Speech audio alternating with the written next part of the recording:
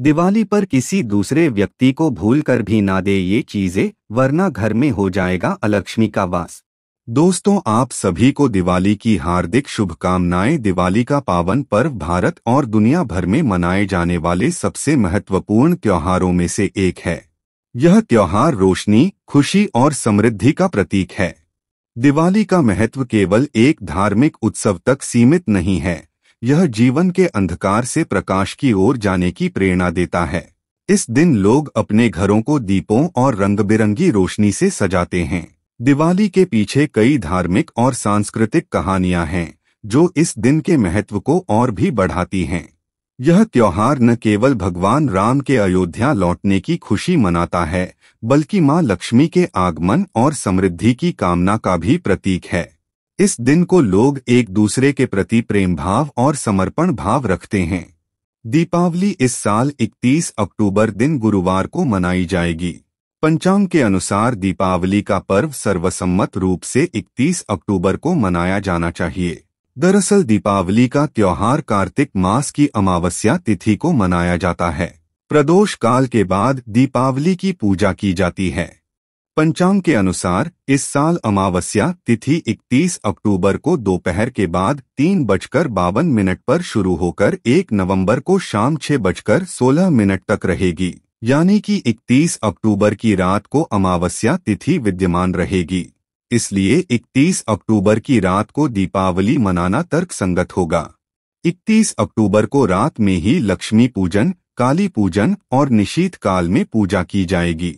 मध्य रात्रि की पूजा भी 31 अक्टूबर की रात को ही करना सर्वमान्य होगा।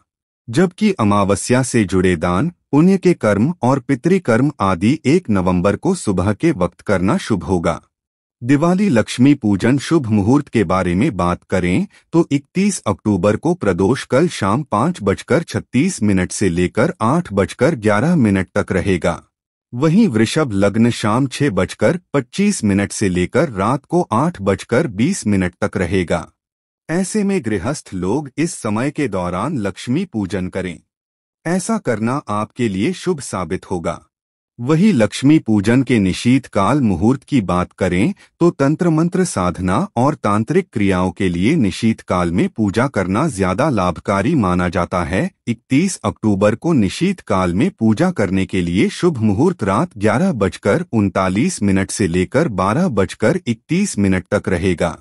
स्थिर लग्न और प्रदोष काल में लक्ष्मी पूजन का महत्व माँ लक्ष्मी का प्रादुर्भाव प्रदोष काल में हुआ था और स्थिर लग्न में माँ लक्ष्मी की पूजन करने से महालक्ष्मी स्थिर रहती हैं। ऐसे में दिवाली पर प्रदोष काल में पड़ने वाले वृषभ लग्न में ही महालक्ष्मी और भगवान गणेश का पूजन करना अति उत्तम रहेगा। हिंदू पंचांग के अनुसार 31 अक्टूबर को वृषभ लग्न शाम को छह बजकर पच्चीस मिनट से लेकर रात्रि आठ बजकर बीस मिनट तक रहेगा। साथ ही इस समय प्रदोष काल भी मिल जाएगा। प्रदोष काल वृषभ लग्न और चौघड़िया का ध्यान रखते हुए लक्ष्मी पूजन के लिए 31 अक्टूबर की शाम को छह बजकर पच्चीस मिनट से लेकर सात बजकर तेरह मिनट के बीच का समय सर्वोत्तम रहेगा। कुल मिलाकर 48 मिनट का यह मुहूर्त लक्ष्मी पूजन के लिए सर्वश्रेष्ठ रहेगा। इसके अलावा दोस्तों, आप सभी को बता दें कि दिवाली रोशनी का पर्व नहीं है, बल्कि खुशियाँ बांटने का पर्व भी है। दिवाली पर खुशियाँ बांटने का एक तरीका है अपने प्रियजनों को उपहार देना। दिवाली के लिए अगर आप भी अपने प्रियजनों को उपहार देना चाहते हैं तो वास्तुशास्त्र के अनुसार आपको कुछ बातों का ध्यान ज़रूर रखना चाहिए। जैसे कुछ चीज़ें ऐसी होती हैं, जिन्हें उपहार में देने से बचना चाहिए। आप अगर इन चीज़ों को उपहार में देते हैं तो आपके जीवन की सुख समृद्धि पर इसका नकारात्मक प्रभाव पड़ता है। साथ ही माता लक्ष्मी भी आपसे नाराज़ हो जाती है, और आपको आर्थिक तंगी जैसी समस्या समस्या का भी सामना करना पड़ सकता है। इस वीडियो के माध्यम से मैं आप सभी को बताऊँगा कि दिवाली पर कौन सी चीज़ें किसी दूसरे व्यक्ति को नहीं देनी चाहिए। लेकिन उससे पहले अगर आप भी चाहते हैं कि माता लक्ष्मी जी और भगवान गणेश महाराज का आशीर्वाद आ, पर और आपके परिवार पर सदैव बना रहे तो इस वीडियो को लाइक करें और चैनल को सब्सक्राइब कर ले और कमेंट बॉक्स में सच्चे दिल से जय लक्ष्मी माता, जय गणेश महाराज लिखकर अपनी हाजिरी ज़रूर लगाएँ। तो चलिए दोस्तों, जानते हैं कि दिवाली पर कौन सी वस्तुएँ किसी दूसरे व्यक्ति को उपहार में नहीं देनी चाहिए नंबर एक, घड़ी। दिवाली पर घड़ियाँ गिफ्ट में दी जाती हैं, लेकिन वास्तुशास्त्र के अनुसार घड़ियाँ समय से जुड़ी हुई हैं और गति से भागता हुआ समय दिखाता है कि जीवन कम हो रहा है, इसलिए आपको किसी को भी गिफ्ट में घड़ियाँ नहीं देनी चाहिए। नंबर दो, रुमाल तौलिया। वास्तुशास्त्र के अनुसार आपको दिवाली पर किसी को भी रुमाल या तौलिया गिफ्ट में नहीं देना चाहिए। किसी को भी रुमाल या तौलिया गिफ्ट में देने से रिश्तों में दरार आ जाती है, और जिसे भी आप रुमाल या तौलिया दे रहे हैं, उसके साथ आपके संबंध खराब हो सकते हैं, या फिर मनमुटाव की स्थिति हो सकती है। नंबर तीन, परफ्यूम। आजकल के समय के अनुसार परफ्यूम को सबसे आसान और सस्ता तरीका समझकर लोगों को गिफ्ट कर दिया जाता है, लेकिन परफ्यूम बजट के हिसाब से सही हो सकता है। लेकिन वास्तुशास्त्र के अनुसार से कृत्रिम सुंगध वाले परफ्यूम आर्थिक खुशहाली के लिए सकारात्मक नहीं माने जाते हैं। परफ्यूम नकारात्मक ऊर्जा को आकर्षित करता है। नंबर चार, खट्टा सामान। दिवाली से पहले खट्टा। सामान की खरीदारी नहीं करनी चाहिए। इस समय में नींबू आचार आदि चीज़ों की खरीदारी नहीं करनी चाहिए। कहते हैं कि इन्हें घर लाने से व्यक्ति को पैसों से जुड़ी परेशानी का सामना करना पड़ सकता है। साथ ही आप माता लक्ष्मी की कृपा से वंचित रह सकते हैं। नंबर पाँच, दूध। ज्योतिष शास्त्र में सूर्यास्त होने के बाद कभी भी दूध किसी को नहीं देना चाहिए। दीपावली वाले दिन तो भूल कर भी ऐसा न करें, क्योंकि दूध को चंद्र ग्रह का प्रतीक माना जाता है। सूर्य ढलने के बाद किसी को दूध देने से घर में आर्थिक परेशानियाँ आ सकती है। साथ ही घर में नकारात्मक ऊर्जा का वास हो सकता है, जिससे घर में अशांति बनी रहती है। नंबर छः रसोई घर का सामान। रसोई घर में प्रयोग में लाई जाने वाले सामान को भी दीपावली वाले दिन किसी को नहीं देना चाहिए। इस दिन चकला, बेलन और तवा को भी किसी दूसरे को नहीं देना चाहिए। वास्तुशास्त्र में इन तीनों चीज़ों को देने की मनाही है। मान्यता है कि इन तीनों चीज़ों को किसी दूसरे व्यक्ति को देने से आपके घर की लक्ष्मी उसी व्यक्ति के साथ चली जाती है। नंबर सात, जूते चप्पल। दोस्तों, जूते चप्पल को भी दिवाली पर उपहार में देना अशुभ माना जाता है। धार्मिक मान्यताओं के अनुसार, किसी को जूते चप्पल उपहार में देने से घर की सुख शांति भंग होती है और आर्थिक तंगी का सामना करना पड़ सकता है। इसलिए अगर आप किसी को खास उपहार देने का सोच रहे हैं तो फुटवेयर की जगह कुछ और विकल्प चुनें, जो इस पर्व के सकारात्मक और शुभ वातावरण के अनुरूप हो। नंबर आठ, नमक। दिवाली के दिन नमक का दान बिल्कुल भी नहीं करना चाहिए। मान्यता है कि दिवाली के दिन नमक का दान करने से रिश्तों में दरार पैदा हो सकती है, जिससे घर में लड़ाई झगड़े का माहौल बन सकता है, और आपको माता लक्ष्मी के क्रोध का भी सामना करना पड़ सकता है। नंबर नौ, खाली बर्तन। खाली बर्तन जैसे लोटा, कलश या कोई अन्य पात्र दिवाली पर उपहार में देने से बचना चाहिए। शास्त्रों के अनुसार खाली बर्तन देने से घर में दरिद्रता का वास होता है। अगर आप बर्तन उपहार में दे रहे हैं तो उसमें कुछ मिठाई या अनाज भर कर दें। जिससे समृद्धि का प्रतीक बना रहे और आपको इसका फल भी मिल सके। नंबर दस, चमड़े से बनी वस्तुएँ। चमड़े से बनी वस्तुएँ जैसे जूते, बेल्ट या बैग आदि को दीपावली पर उपहार के रूप में देना अशुभ माना गया है। चमड़ा मांस से प्राप्त होता है और इस प्रकार की वस्तुएँ नकारात्मक ऊर्जा का प्रतीक मानी जाती हैं। यह उपहार घर में शांति और सौभाग्य में बाधा उत्पन्न कर सकते हैं। नंबर 11 झाड़ू। दीपावली पर सफ़ाई करने वाले सामान जैसे झाड़ू या फिर अन्य कोई दूसरे सफ़ाई करने के उपकरण उपहार में नहीं देना। चाहिए, दिवाली पर झाड़ू किसी दूसरे व्यक्ति को देना घर की समृद्धि और सुख को हटाने का संकेत देता है। ऐसा माना जाता है कि इससे घर से बरकत का अंत हो सकता है।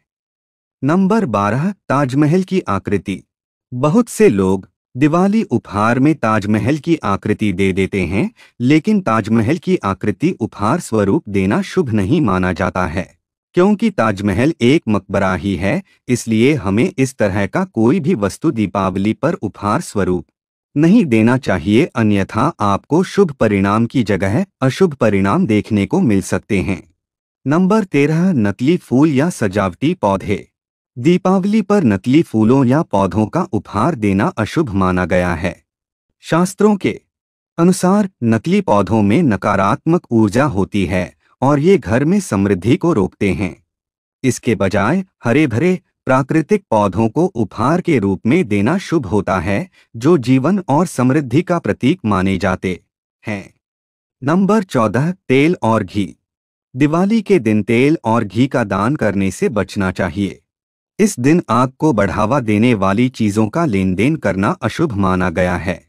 मान्यता है कि इस चीज़ से घर में लड़ाई झगड़े का माहौल बनता है। साथ ही दिवाली के दिन या शाम के समय पैसों का लेन देन करना शुभ नहीं माना गया है। दिवाली पर किसी की बकाया पेमेंट भी नहीं करना चाहिए। ऐसा करना घर से लक्ष्मी को विदा करना माना जाता है। लिहाजा दिवाली के दिन पैसों का लेन देन नहीं करना चाहिए। नंबर पंद्रह, लोहे की चीज़ें। लोहे की चीज़ें दुर्भाग्य और विपत्ति को आकर्षित करती हैं। लोहे को शनि की धातु मान जाता है, इसके साथ ही लोहे का संबंध राहु से भी माना जाता है। ऐसे में दिवाली के दिन लोहा या लोहे से बनी चीज़ों का भी दान नहीं करना चाहिए। नंबर 16 टूटी हुई चीज़ें। टूटी हुई चीज़ें असफलता और दुर्भाग्य को आकर्षित करती हैं। ऐसे में दिवाली के दिन टूटी और चटकी हुई चीज़ों का भी दान न करना चाहिए। अगर आपके घर में टूटी फूटी या फिर कोई पुरानी चीज़ है तो दिवाली पर उसे घर से बाहर निकाल दे। यह चीज़ नकारात्मक ऊर्जा को आकर्षित करती है। नंबर सत्रह, सोना चांदी के। सिक्के, धार्मिक दृष्टिकोण से सोने और चांदी के सिक्कों को उपहार में देना भी गलत माना जाता है, विशेषकर जब उन पर देवी लक्ष्मी या भगवान गणेश की आकृति हो। ऐसा करने से घर की संपत्ति और बरकत को दूसरों के साथ बांटने का संकेत मिलता है। इसीलिए दिवाली पर ऐसे उपहारों से परहेज करना चाहिए, ताकि आपके घर की सुख समृद्धि बनी रहे। नंबर 18 नुकीली चीज़। आजकल बहुत से ऐसे शो पीस हैं, जो नुकीली होती हैं। वहीं कई बार लोग मज़ाक में भी एक दूसरे को डोट, चाकू, कैंची या फिर कोई अन्य चीज़ गिफ्ट में दे देते हैं। आप भी अगर अपने किसी प्रियजन को गिफ्ट करना चाहते हैं तो उन्हें नुकीली या धारदार चीज़ें भूलकर भी गिफ्ट में न दें। नंबर 19 मूर्तियाँ तस्वीर। वास्तुशास्त्र के अनुसार आपको किसी को भी भगवान की मूर्ति या तस्वीर दिवाली गिफ्ट में नहीं देनी चाहिए। हमें याद रखना चाहिए कि भगवान सेवा करने के लिए होते हैं, किसी को उपहार में देने के लिए नहीं। वास्तु शास्त्र के अनुसार किसी वस्तु की तरह भगवान की मूर्ति को उपहार में नहीं दिया जा सकता है। अन्यथा आपसे माता लक्ष्मी और भगवान श्री गणेश आपसे नाराज़ हो सकते हैं और आपको कठिन समस्याओं का सामना करना पड़ सकता। है नंबर 20 काले कपड़े। दिवाली पर अपने प्रियजन को गिफ्ट में काले कपड़े नहीं देने चाहिए। वास्तुशास्त्र के अनुसार काले रंग को अंधकार से जोड़कर देखा जाता है और माना जाता है, जबकि दिवाली प्रकाश का पर्व है, इसलिए दिवाली पर किसी को भी काले रंग के कपड़े गिफ्ट न करें। इसका असर आपके जीवन पर नकारात्मक पड़ सकता है, और आपको शुभ परिणाम की जगह अशुभ परिणाम देखने को मिल सकते हैं। दोस्तों, आज की हमारी वीडियो आपको कैसी लगी हमें कमेंट करके बताएँ। अगर आपको हमारी वीडियो अच्छी लगी हो तो कमेंट बॉक्स में जय माँ लक्ष्मी ज़रूर लिखें। भगवान आप सब पर कृपा बनाए रखें। जय श्री कृष्णा दोस्तों।